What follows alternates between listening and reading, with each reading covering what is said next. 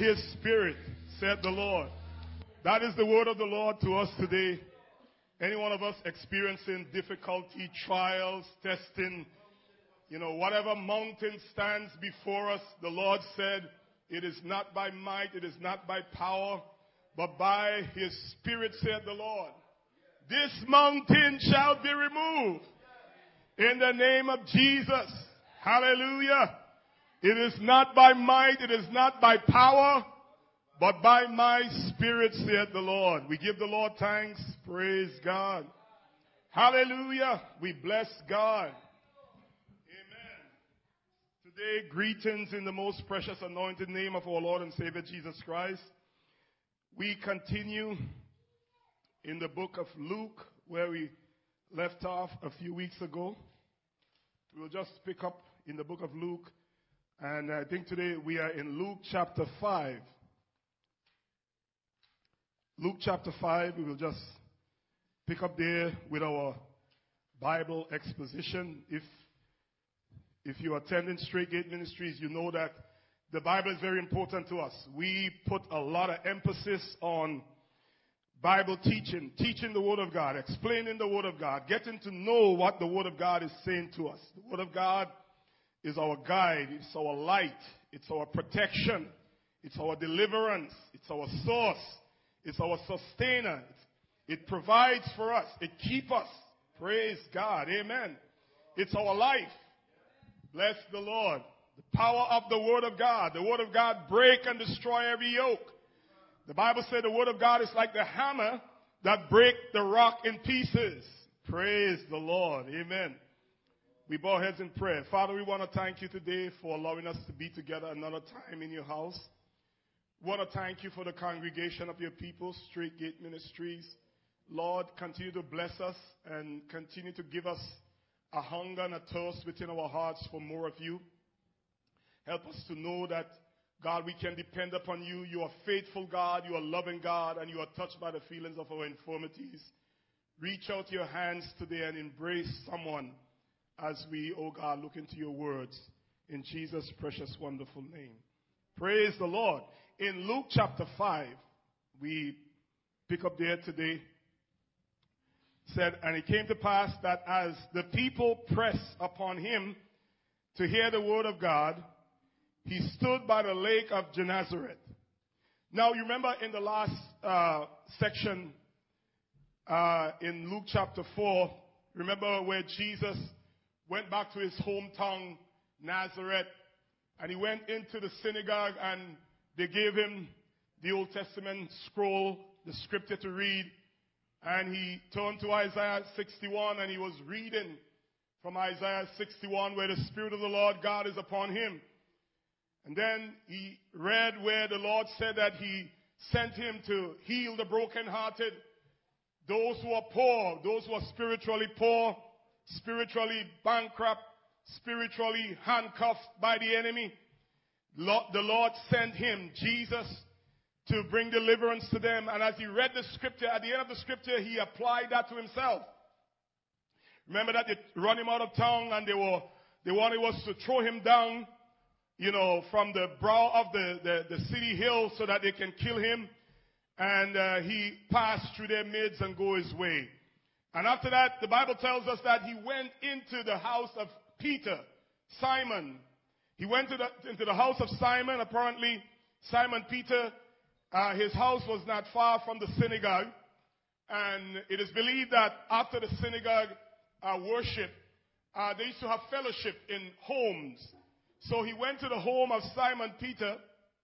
And there the Bible tells us that Simon Peter, uh, his mother-in-law was sick with a, a great fever. And uh, they besought the Lord to heal Simon Peter's uh, mother-in-law, and the Lord prayed for her and deliver her from that great fever.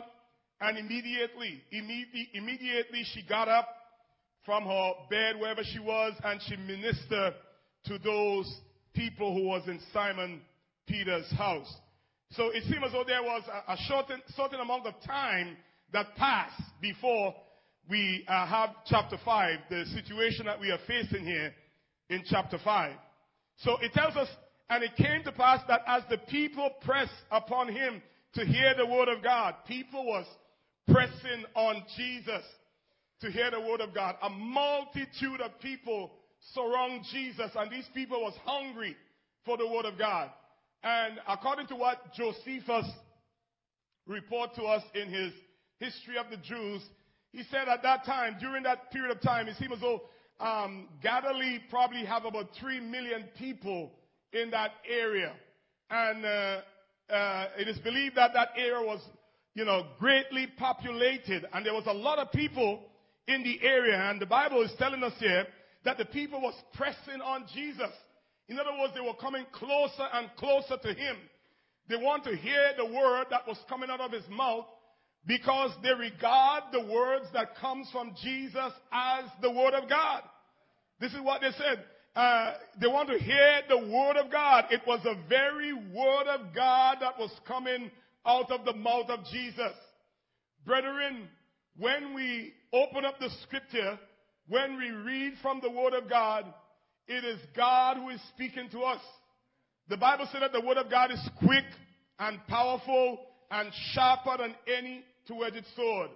And we must esteem God's words and we must become hungry for God's words.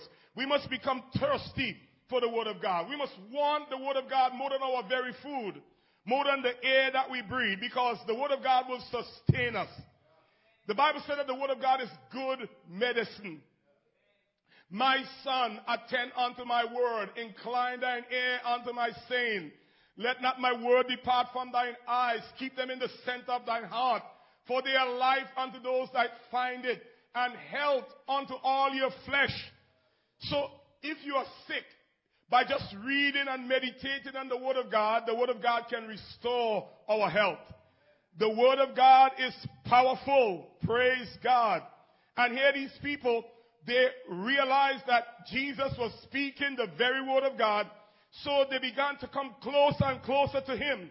And the Bible is telling us here that they were close or by the lake of Gennesaret, which was the Sea of Galilee, the same uh, uh, place that they're talking about.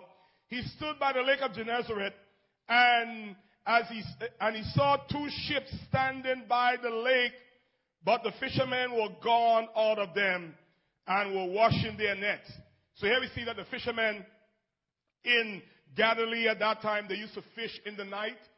And these fishermen, they went out the night and they came back and they were washing their nets. They were preparing their nets for the next time they were going out.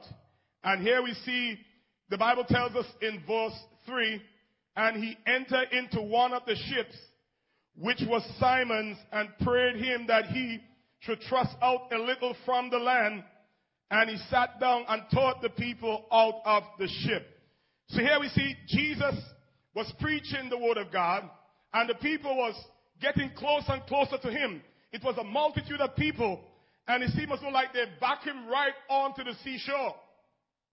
So for him to get some room, as these men, they were out of their boats, their fishing boat, washing their nets, Jesus took the opportunity to use one of the fishing boat that was there to be his pulpit. Jesus used the fishing boat to be his pulpit to deliver the word of God. And uh, the ship that he entered into, the Bible said it belongs to the same Simon. You remember we talk about Simon and it's Simon Peter? Uh, Jesus went into his house from the synagogue. They have fellowship in Simon Peter's house. Jesus went there and he healed Simon Peter's mother-in-law. And here Simon Peter, he is making his fishing boat, his fishing boat become available. Jesus using Simon Peter's fishing boat to, for his pulpit.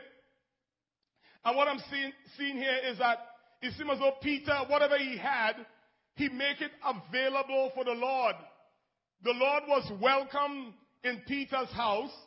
He was welcome for, uh, to whatever Peter refreshment was provided in Peter's house. And now Simon make his boat available to become a pulpit for the Lord Jesus Christ. And whatever we have in life, we ought to make it available for the Lord. We ought to make our vessel, our life available for, for the Lord. Anything you possess. The Bible says we must love the Lord with all our heart, all our soul, all our mind, all our strength. Whether it's your life, your time, your finances, you should make it available to the Lord. And I'm not trying to be like some of these money grabbers that are out there that will use these words and these opportunity to get people to bring more money and more money to the church. I'm not telling you to do that.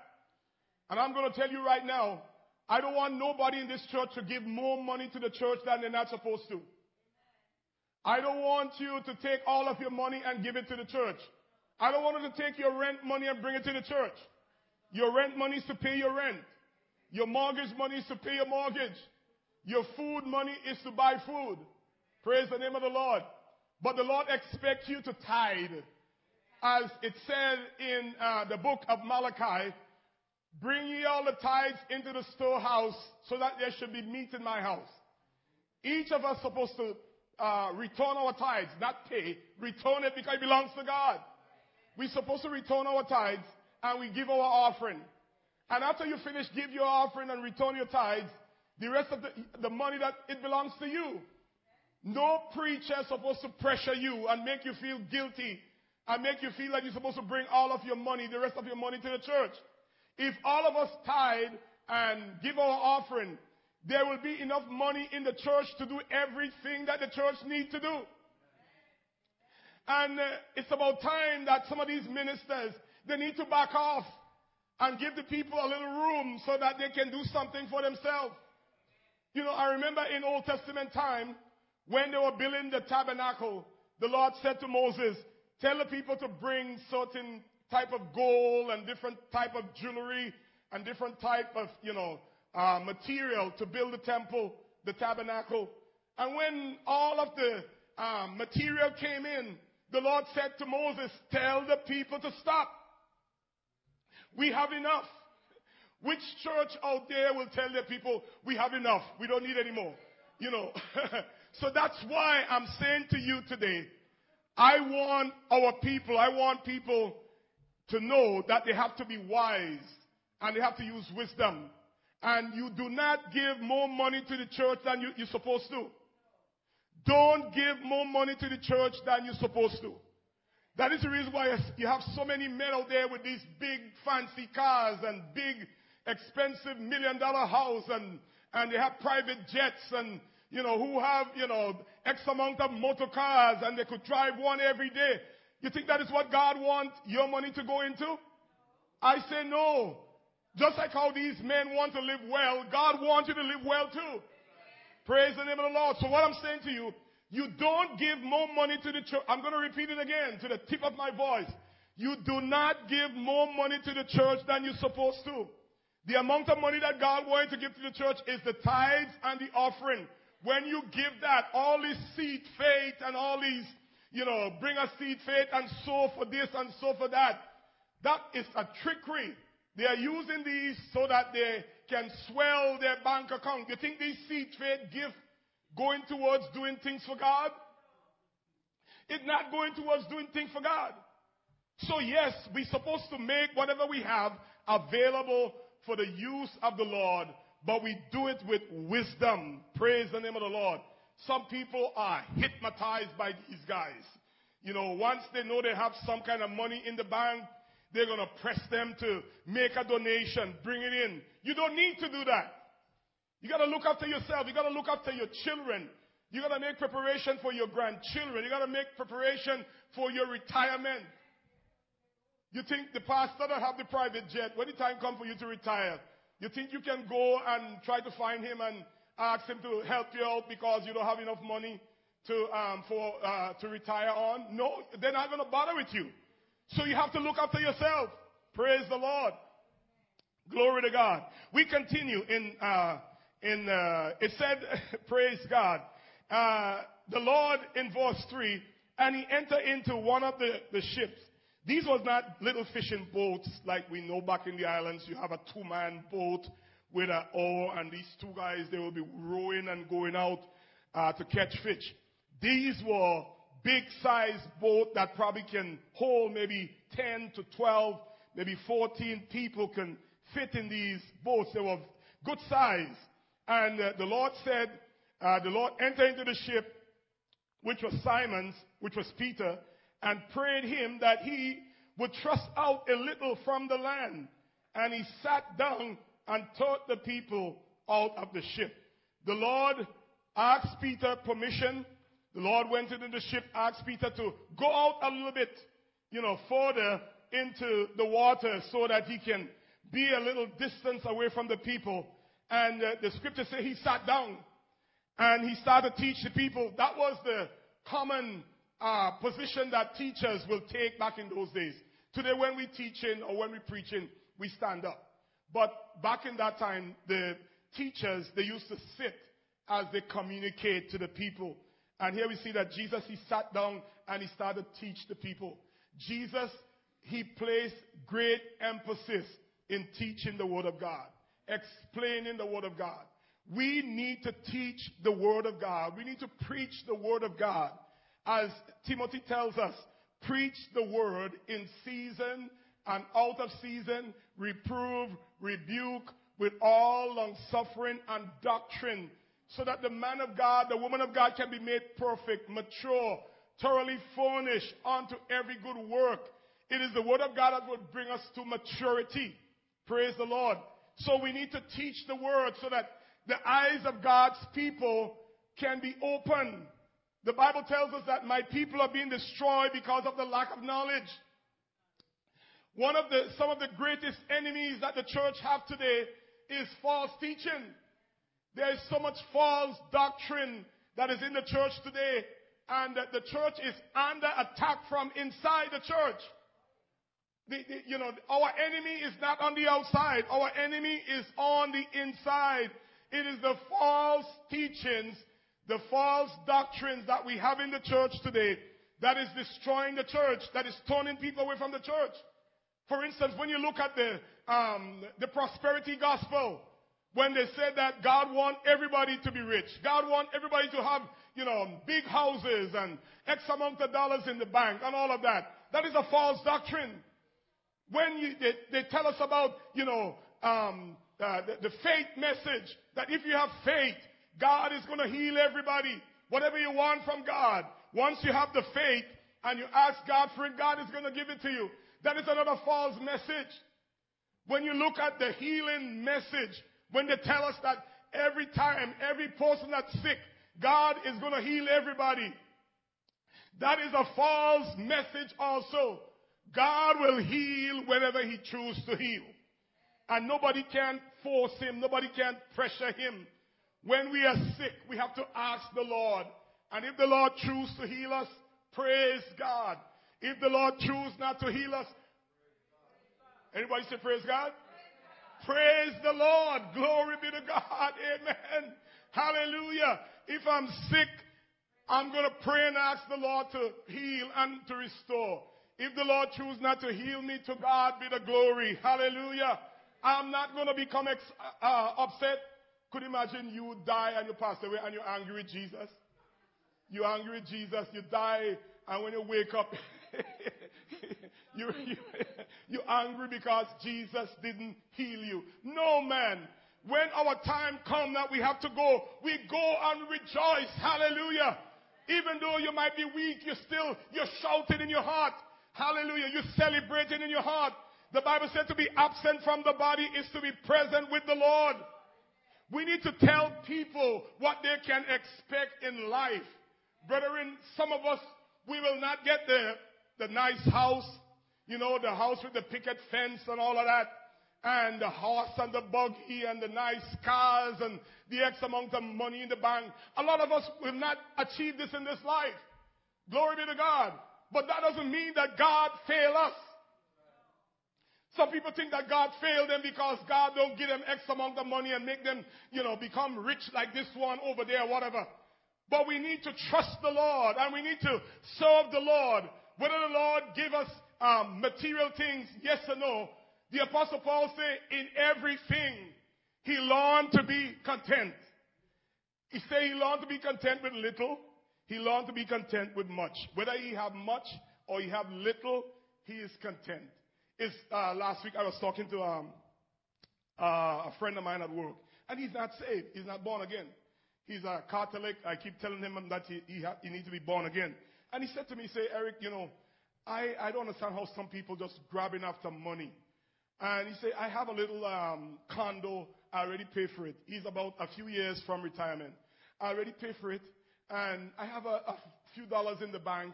And, you know, I have some food in my house and stuff like that. I feel content. Hearing that coming from an unsaved person. An unsaved man is telling me that he have a little condo that was paid for and he have a few dollars in the bank and he have food on his table and he feel content. Are you content with what you have? Glory be to God. I'm telling you, I'm fully contented with whatever I have. And I believe that the Lord gave me more than I deserve. The Lord allowed me to have access to more than I deserve. The blessings that the Lord gave me in life, I don't deserve it. And you too, you don't deserve it. Praise the name of the Lord. Glory be to God. Hallelujah. So the Bible tells us Peter was asked by the Lord to go out a little further. And Jesus sat down and taught the people out of the ship. Verse 4 Now, when he had left speaking, he said unto Simon, Launch out into the deep and let down your net for a catch or a draft. Let down your net so you can catch. You remember at the beginning of the um, these verses, we read where the fishermen they were out and all night and uh, they, they, they came back in and they were washing their nets. They were preparing their nets so that they can go back out uh, the, the, when the night, the next night comes, so that they can fish to make their living. And here uh, Jesus used Simon Peter's boat, and after he finished speaking, uh, the Bible said that Jesus said unto him, "Launch out into the deep." And when he said into the deep, he's not talking about far, far away deep. What this is talking about, you remember Jesus telling him to go out a little further from the land so he can use the boat as a pulpit. Jesus is telling him to go out a little bit more into the deep um, waters. It's not way out into the deep areas where these men are accustomed going to fish because fishing in Galilee, what is said that fishing in Galilee, the fishermen, they used to fish at night. Because when they fish at night, they have to go out into the deep areas to catch the fish. Because when the night come, the, the, the water is cool and it's said that the fish come up uh, to the surface and it's a lot easier to catch um, these fish. So here we see Jesus is giving Peter a command to launch out into the deep. Keep in mind, Jesus wasn't a fisherman. Jesus didn't know anything about going out in a boat and fish. Jesus was a carpenter. And here we see Jesus is giving an experienced fisherman, somebody who went out the night and was preparing probably to go home and get some rest so he could come back to go back out the, the next night. And Jesus is telling him to launch out into the deep. And not only that, put your net down for a catch. And it tells us in verse 5, and Simon answered, answering, said unto him, Master. In other words, he addressing him, Master, or we would say boss, you know. boss. he said, Master, we have toiled all night. The word there, toil, it means work hard. It means that you go through all kind of suffocation. Amen. He was toiling all night. Amen. And uh, while toiling all night, he said, and have taken nothing. Master, we were out there all night. We spent all our, all the time that we were supposed to be in our bed, we were out there toiling all night, and we haven't taken anything. We haven't catch anything.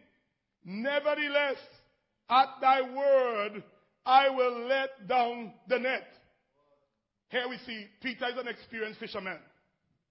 And Peter know that when he want to catch fish, he have to go way out. He have to go way out into deep waters. Praise the name of the Lord. And he have to do it at night. But here we see Jesus is telling Peter to do something that he wasn't trained for. Peter wasn't accustomed fishing during the day. And Peter wasn't accustomed catching fish, um, fishes right, you know, in open area close by the seashore. When he wanted to catch, he had to go out into the deep and he had to do it in the night. And here we see Jesus is telling him something that he's not accustomed doing. And as I said before, Jesus was not a fisherman. Peter was an experienced fisherman. But here he said, Master, praise the name of the Lord. We have toiled all night and have taken nothing. Nevertheless, at thy word, I will let down the net. Brethren, when we have the word of God, when the, the, when the Lord give us a word, we have to be ready. We have to be willing to obey. It doesn't matter how experienced you might be. Doesn't matter how educated you might be. You know, unlearned you might be. Once it's a word from God, once the word comes from God, we have to obey. And look at Peter was an experienced fisherman. Jesus wasn't an experienced fisherman. And uh, here Jesus is telling Peter to go out into the deep. Hallelujah. Let down your net. And it takes, it wasn't Peter alone to throw the net out. It was a big, those big seine. Because as I said, these boats probably was carrying maybe six or seven men when they go out. And they have this big seine that they will throw out. So it's not a one man thing. Peter have to get the rest of the guys and they go out and they have to put the, the net or the seine, throw it out. Praise the name of the Lord. And he said, nevertheless, at thy word, I will let down the net. Praise the name of the Lord. Hallelujah. You know, sometimes we think that because of our knowledge and because of our education and because of, you know, our experience, um, the Word of God doesn't really mean a lot to us. So we can't really trust the Word of God. We trust our feelings over what the Word of God is saying. But brethren, the Word of God have final authority. The Word of God overrule your feelings. The Word of God overrule your knowledge. The Word of God overrule your education. Hallelujah. Bless the Lord. And when they had, had this done, praise the Lord, they enclosed a great multitude of fish and their net broke. Here we see Peter decided he's going to obey the Lord. Peter know that he wasn't trained to fish that time of the day. It was in the night he was trained to fish. And Peter know that uh, the fish don't really bite and they don't really saw face in that kind of an uh, environment. But he decided he's going to obey the Lord. And when he obeyed the Lord, he and his, his crew, they let down their net and the Bible said they enclosed a great multitude of fishes and their net break. And I'm seeing here how God reward Peter. And he reward Peter and his men. Jesus used Peter's house. He went to Peter's house and he refreshed himself. They had, you know, this kind of get together there where they have, uh, I believe, things to eat and stuff like that. I'm sure that Jesus participated in what was prepared. And here we see Jesus is using Peter's boat and now Jesus is rewarding Peter. When we make ourselves available to God, God is going to reward us. When you, whatever material thing you have, when you say, well, Lord, whatever I have, it belongs to you. It doesn't belong to me, it is yours. And whatever you, you need me to do, I am available to do it. And you make yourself open to the Lord I want to say to us, God is going to reward us. Hallelujah. God is going to repay us. Glory be to God. Hallelujah. Said, their net, uh, and their net break. you know, they, they have so many fishes in their net that the net, the strings that hold the net together, it start breaking because the, the, the, the, amount of fish that they have in the net, it was too heavy. And uh, they beckoned on to their partners, which were in the other ships, that they should come and help them. So they have so much that the blessings were too much. And they have to call, call in their partners. You know, sometimes God bless us so much and we have so much and it's overflowing. But you know, we can't call somebody else in. We don't want to share it with somebody else. But here we see that these men, their, their blessings were overflowing. So what they did, they call in their partners. Brethren, we all should be partners where the blessing of God is concerned. Glory be to God. If God is blessing you and you can help somebody to be blessed, you have to show them and you help them so that they can be blessed too. And you know, the more God bless you and the more you bless other people is the more blessing you are getting. Hallelujah. But sometimes we are so tight fisted. You know, sometimes God use one individual, one individual to get out so that one individual can help the rest of their family. And that one individual, instead they use that opportunity to help the rest of their family or help the rest of their community. They decide to keep all the blessing for themselves and they decide to be close fisted. But when we are close fisted, when the Lord bless us and we don't want to share what we have, how, how, how do you think God is going to continue to bless us? The more you share what the Lord gives to you, is the more the Lord is going to bless you. Praise the name of the Lord. God is still in the blessing business. Praise God. Hallelujah. He rewarded Peter and uh, his crew. Praise God. Their net break and they have to call, they beckon onto their partners, the Bible said, and uh, to come and help them. And they came and filled both ships so that they began to sink. Could you imagine that? not far from shore, not out into the deep area where the fish are custom biting. Here we see Peter, he thought that he, he knew where to go and fish. but here we see Jesus, he knew where all these, uh, uh, uh, the fishes in the ocean were. He had knowledge. Jesus had prior knowledge. And he knew where the fishes were. Glory be to God. This is not the first time Jesus know the location of fishes in the sea. Remember when uh, some people came to the disciples and talked to them about paying taxes, and Jesus was there. They relate the story to Jesus, and Jesus tell them to go down to the sea and throw out a line, and uh, they will catch a certain fish, and that fish have a piece of money in its mouth. Could you imagine that? And people trying to say Jesus is not God. How can you know that there's a fish that is swimming around out there in the ocean with a valuable piece of money in its mouth? Praise the name of the Lord. How can you know that if you're not God? And Jesus, he knew where uh, this fish was with this certain amount of money in its mouth. And Jesus was able to say, go and catch it and take the money from its mouth and pay for yourself and pay for whoever needs to be paid.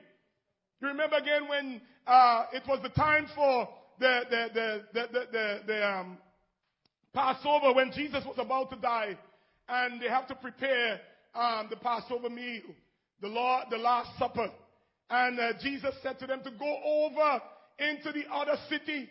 They were in this village, and he told them to go to the next village, and you will meet a man with what?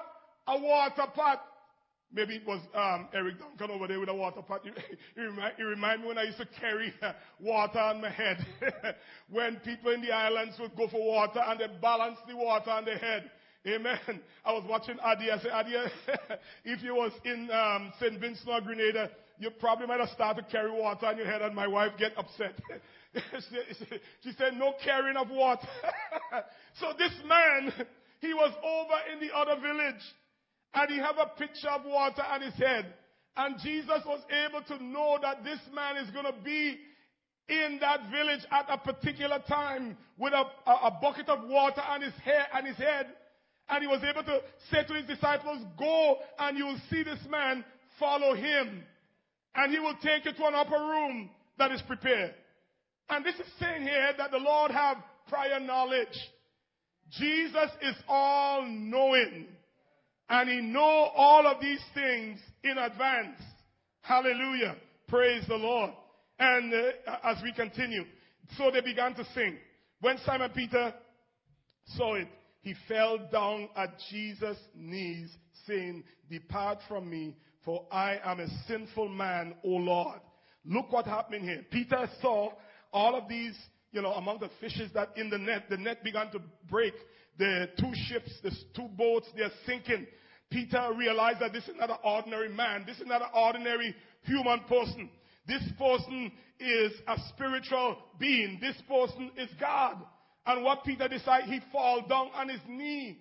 Jewish people, Jewish people, they don't fall down and worship men because they know what the commandment of their God is. And Peter was a Jew and he was a, a synagogue worshiper and he knew he's not supposed to worship a man. But here he's falling down on his knees and he said, depart from me for I am a sinful man, O Lord. Peter is calling Jesus God. He's calling him, O Lord. And here, Jesus didn't say, Peter, get up from off of your knee. Peter, I am a Jew just like you. I'm an ordinary man just like you, and you're not supposed to worship me. Jesus didn't raise Peter up from the ground. Jesus received um, whatever worship that was given to him by Peter. Peter acknowledged him as Lord, and Jesus did not dispute that. For he was astonished, and all they that were with him at the catch or draught of fishes which they had taken, they were astonished. They were surprised. They were shocked to see the way how the Lord blessed them. Praise the name of the Lord. God will bless us, brethren, if we continue to trust Him. If we continue to be faithful. If we are not so demanding. I think if some of us are not so demanding, I think God is going to bless us more. some people are too demanding. And that's the reason why God can, can open up the windows of heaven and pour them out a blessing so that there should not be enough room for them to receive it. Because we are so demanding and God have to let us know who is God. Hallelujah. It's like if you have a, a child that want to demand things from you. I want a car and I want it now. And I want you to give me X amount of money and I want it now. Sometimes you gotta set, you gotta show them who is the parent, man. And I think the Lord is doing that with a lot of us. Because we are so demanding and we don't want to trust Him. We don't want to wait. We don't want to wait upon Him. And brethren, if we wait upon God, God is going to bless us. And our basket is going to overflow. Glory be to God. He will bless us in our going out. He will bless us in our coming in. Whatever our hands touch, it shall be blessed. The blessings of the Lord will overtake us. We need to trust the Lord. Praise the Lord. For uh, Peter said, Amen. Depart from me, for I am a sinful man, O Lord. Peter recognized his sinfulness and he recognized who he was before the Lord. We need to acknowledge our sins. When we sin, we need to acknowledge our sin. We need to repent. If you sin against the Lord and you don't repent, that sin is unforgiven. I don't care how much worship song you sing. I don't care how many times you come before the altar and you're not going before the Lord and you are saying, God, I'm sorry. I repent. I acknowledge my sins. I turn. Uh, forgive me of my sins. I repent of my sins. Until you repent of your sins, your sin is still there. The Bible said, if I regard iniquity in my heart, the Lord will not hear me.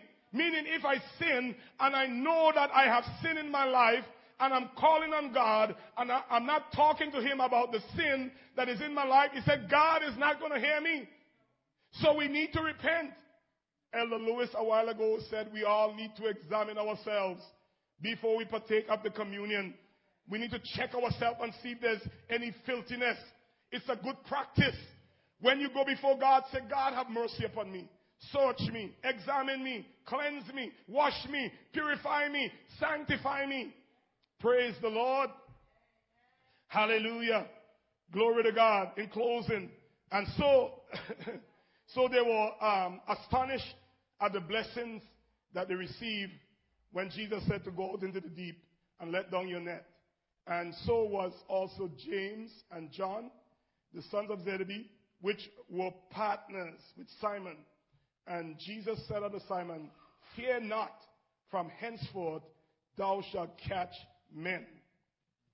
So Jesus reward them and he tell them, fear not. From now on, what you're going to do, instead of you catch fish, you're not going to go out and catch fish anymore. You'll be catching men. You'll become a soul winner. You'll be winning soul for the Lord. Yesterday, me and Elder Lewis was talking about soul winning. And he was expressing to me that his great desire is to win soul. God wants us all to win souls.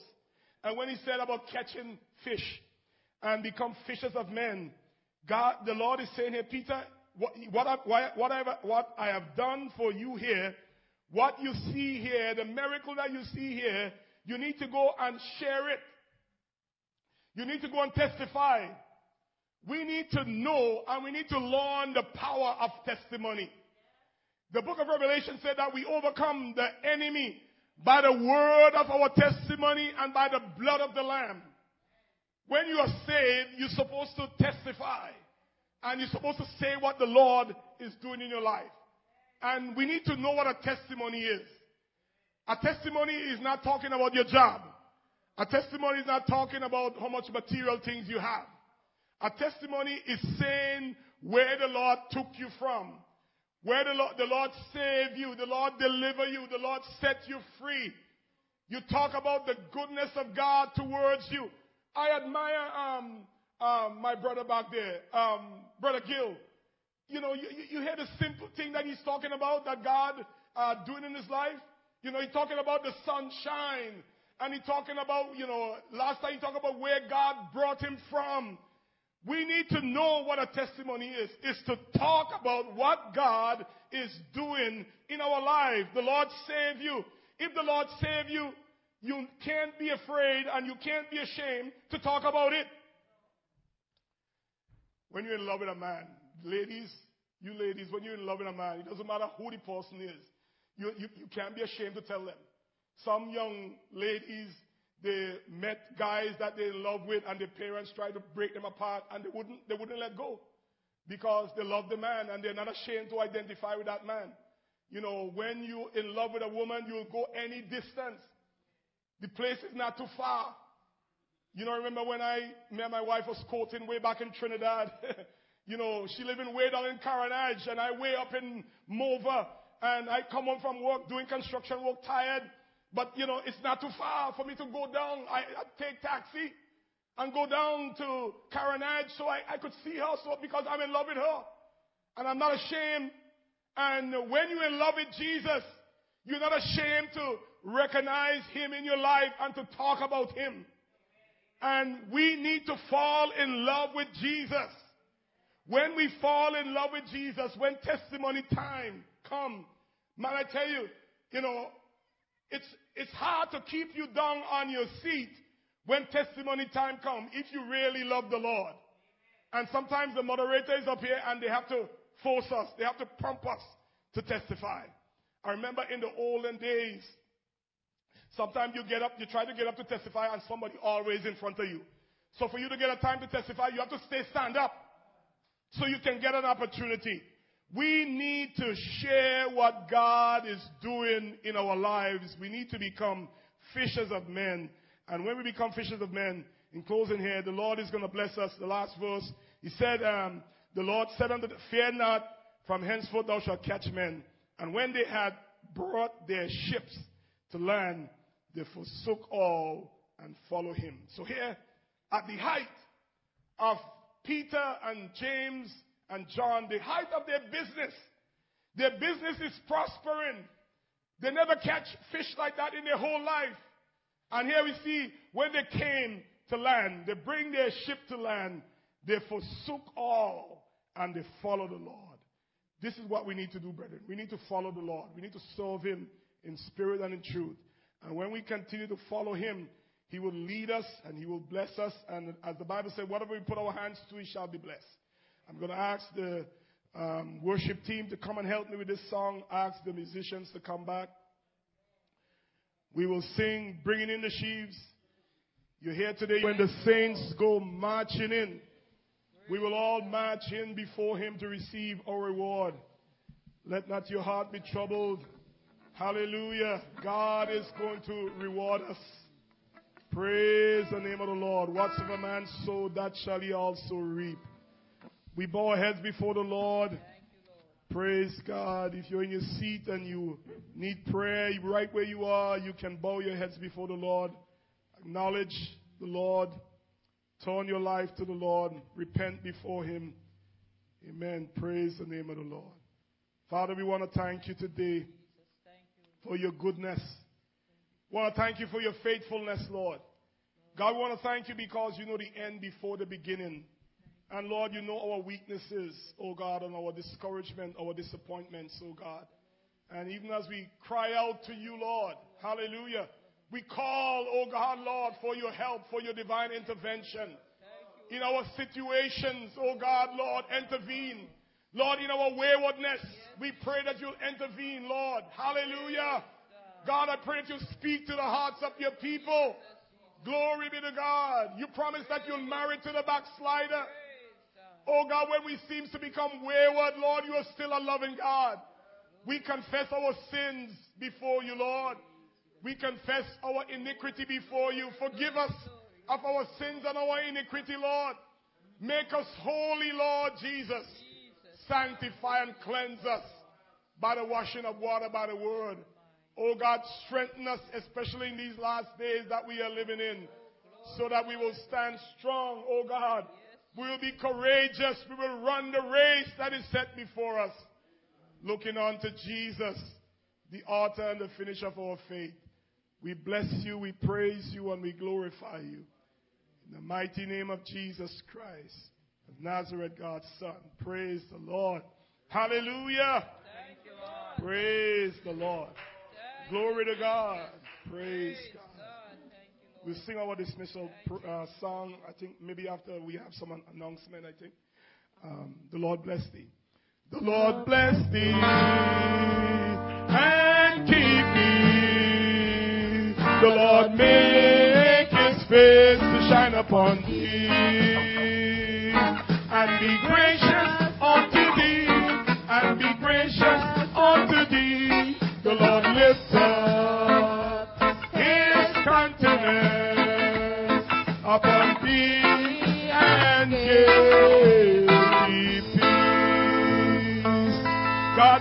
God. God give you peace. Have a good week.